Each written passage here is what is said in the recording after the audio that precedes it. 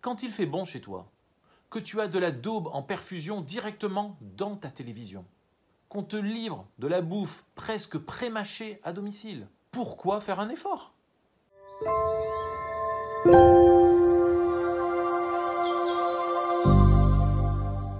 Durant des siècles, on s'est battu pour ne pas mourir de froid en hiver, manger à sa faim et ne pas se faire tuer par un ours dès qu'on sortait de chez soi. Aujourd'hui, on mange à notre faim, on a chaud en hiver et frais en été, il n'y a plus de prédateurs pour les êtres humains, on est au sommet de la chaîne alimentaire, et on vit jusqu'à plus de 80 ans. Et tout cela est devenu banal. Barack Obama a dit, si vous pouviez voyager dans le temps et choisir de revenir à n'importe quelle époque, vous choisiriez aujourd'hui. Le problème de notre époque n'est plus le manque, mais l'excès. On mange trop. Aujourd'hui dans le monde, on meurt plus de diabète et d'obésité que de famine. On consomme trop. Le chauffage, la clim, les fast-foods, la fast fashion. Avec l'explosion de la productivité, on n'a jamais eu autant de temps libre. Du coup, on se divertit. On bouffe du Netflix, de la télé, des podcasts, du YouTube, des réseaux sociaux, jusqu'à l'indigestion. On a transformé nos cerveaux en décharges à ciel ouvert. Tous les jours, on a des camions qui arrivent et qui nous livrent de la daube à plus savoir qu'en faire.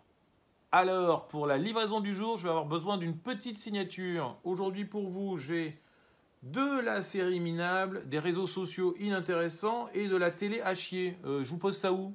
Paradoxalement, on est anesthésié par le confort. Quand il fait bon chez toi, que tu as de la daube en perfusion directement dans ta télévision, qu'on te livre de la bouffe presque pré-mâchée à domicile, pourquoi faire un effort?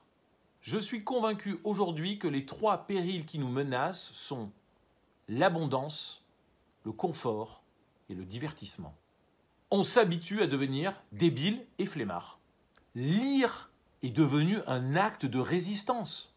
Pardon, mais il n'y a aucune différence entre quelqu'un qui ne sait pas lire et quelqu'un qui ne lit pas. Il faut se forcer à marcher. Le gouvernement te dit fais 10 000 pas par jour. Passer un moment sans smartphone est devenu quasiment mission impossible. On crève de cette société de consommation. On crève du confort de nos vies, de ne plus avoir à faire d'efforts pour rien. On crève du divertissement qui ramollit nos cerveaux. Ne pas se laisser ramollir et endormir est un combat de tous les jours. Je me ménage chaque jour du temps pour lire. Tous les matins, je prends une douche écossaise. Et j'essaye de transmettre ça à mes enfants. Je les envoie aux scouts et aux louvettes. Parce que dormir sous la tente dans un duvet qui est devenu une piscine tellement il est trempé, c'est que du kiff en réalité. Aujourd'hui, ils ne le savent pas, mais dans 20 ans, ça sera leur meilleur souvenir. C'est comme le camping. Faire sa vaisselle à la main dans de l'eau glacée, c'est le bonheur. C'est le moment où on se parle. Les clubs de vacances où tout est pris en charge comme un nourrisson, en réalité, c'est la mort de l'effort. Aujourd'hui, on ne fait plus du voyage, on fait du tourisme. Le voyage, c'est se mettre en danger, en risque, galérer pour trouver un logement, manger des raviolis froids à même la boîte, dormir à la belle étoile. Là, tu te crées des souvenirs magnifiques dont tu riras plus tard. On a trop, trop de choses, trop de facilité, trop de confort, trop de temps. Et finalement, en me disant ça, je me dis, peut-être que c'est moi qui suis devenu trop vieux. J'ai fait mes petites recherches sur Internet et je suis tombé sur trois livres. La tyrannie du divertissement d'Olivier Babot, Homo Confort de Stefano Boni, La crise de l'abondance de François-Xavier Oliveau. En fait, tout ce qui m'a frappé le cerveau a déjà été pensé et écrit par d'autres avant moi. J'ai un peu l'impression d'être la cavalerie qui arrive après la bataille.